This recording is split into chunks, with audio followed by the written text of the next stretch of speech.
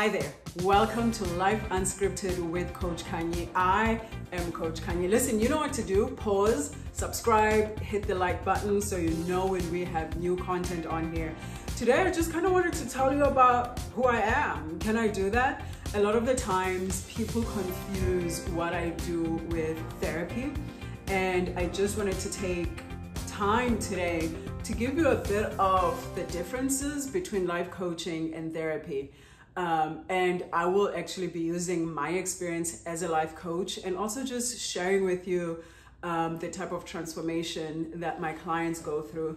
Oh, but let a girl get comfortable. Shit, what the what's going on? My booty ain't sitting properly on this pillow. Um, so, hi, I got distracted. The difference between what what are the main separation points between therapy and coaching? Number one, therapy, and I want to focus on talk therapy. There are so many different types and modes of therapy, but I kind of want to just focus. Oh, I burped. Sorry, human. Um, the main difference where with therapy is therapy is where you go into the past and you figure out your trauma, right? You go in within yourself and your therapist and you really dig into your trauma because our trauma defines us, sadly. Our trauma is usually that vintage point through which we see life, especially if we don't heal from it, especially when we are not aware of it. Our triggers, everything that we do, how we respond, all of it, a lot of the times it is attached to our trauma. So in therapy, you are going back with your therapist, you are figuring out like, why am I like this? What happened to me? It takes you from the present to the past so that you can understand the present and you can understand yourself. The difference with coaching Coaching is about taking you from where you are and getting you to take action to go towards where you want to be. So for me, the best way I say it is like coaching is such action oriented work where I come in and I kind of like float between the both of these is my undergraduate degree is in psychology. I have a master's degree in um, social sciences. Um, and I'm a certified counselor as well and a certified life coach. And my ability to tap into just kind of a little bit, I'm never going to say I do therapy with my clients, is I understand that there is a reason for why you are here. If you're struggling with limiting beliefs, I understand that, the, that there's a there's a root to the belief. You don't just believe that. And so what I'm able to do with my clients is like, Tell me who told you that. Let me understand the trauma so that I can know as we're working around it how to help you, how to say, hey, you know this story is not true. You know this belief that you hold here is not true, but we also understand that it comes from grandma, right? Grandma struggled. This is my story. Grandma struggled. Grandma, you know, had this like really difficult relationship with money. So I understand that my beliefs about money were created at a very, very young age. And so I am able to tap into that with my clients. If my clients struggle with repeating the same patterns in relationships, I go, where is the wound? what are we trying to deal with this pattern? Are we trying to heal a mother wound? Are we trying to heal a father wound? Right? I and i say that with and i'm using this a lot because i get people who come to me and they say coach can you i want you to help me with my trauma. And those people i say i'm not the one i'm not the one let's find you a therapist and when you feel like you've done all the therapy and now you're ready to take action, I'm, I'm the one for you. I have clients who do both coaching and therapy at the same time and it works. Oh, it works so beautifully. Like sometimes I'm like, I just want to go and hug your therapist because we're able to say together, you can be different. And although the talk therapy is like, you can be different, I'm like, how can I hold you accountable? That's another big part of coaching. My one-on-one clients have my personal phone number. And those who don't live in the States, whether it's Europe or South Africa or wherever, they have my WhatsApp number. Because big part of the coaching client relationship is you being able to have access to me. So that I can hold you accountable. I have clients who have come to me for weight loss and not for weight loss, sorry.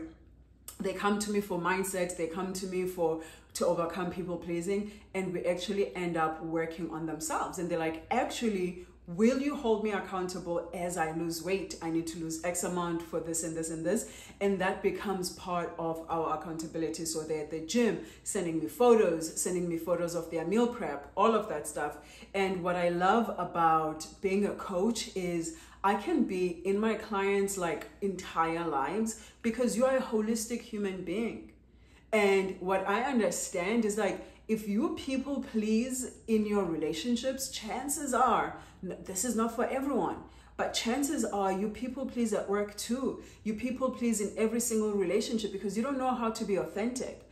And so some of my clients have worked around it. I don't know how, where they can be like, I'm gonna people please at work, but I'm very authentic in my relationships. And we dig into how they were able to do that. I don't know if that will resonate with you too. But I just really, really wanted to kind of like have you sit, babes, like, what journey do I need to be on? Do I need therapy? Do I need to go back and understand my trauma? Do I need to go back and like look at my shadows, right? Like look at the things that have harmed me and how do I behave in ways that manifest that hurt? Some of us that hurt shows up a lot in romantic relationships. A lot because romantic relationships are going to be the mirror that we hold. And they're going to say, hey, hey, hey, this is a trauma bond. And that's what a therapist will go through with you. All right. Um, and before I leave you today, I don't like, I don't want you sitting here for an hour listening to me, but I also wrote books and my first one is called Traveling While Black and Lesbian.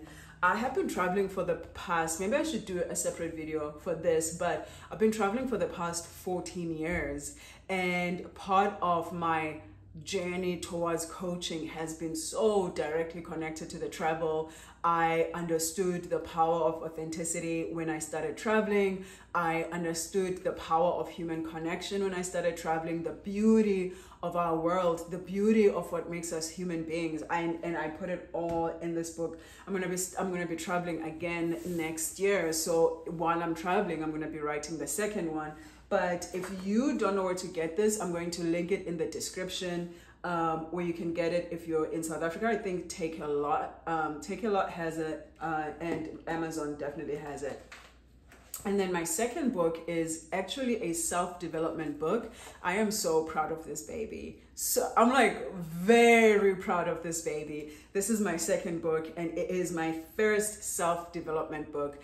I wrote this because I was like, I read a lot of self-development work and a lot of the times they don't speak to my blackness. They don't speak to my queerness. They don't speak to my experiences as an, African woman. And that's not to say I experience life differently, but it is so beautiful sometimes to just see yourself in a, in a book, you know, to see yourself be so clearly represented. So I was like, I'm going to do that. And what I love about this book too is like at the end of every single chapter, I am giving you journaling prompts. You are reflecting on what you just read because I don't believe that knowledge is power.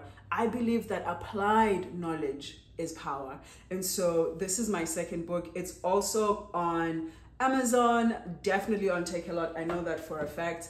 But if you have any questions and if this has been clear to you and now you're like, oh, I think I need life coaching or I think I need to start with something small like journaling. I, I think I need to start with a workbook, community. I'm going to add everything that I have that you can go and dig into in the description and there'll also be a calendar on there. If you want to book yourself a one-on-one session please do that and i can't wait to connect with you. But whatever it is that you choose to do whatever it is that you choose to do whether therapy or life coaching do something.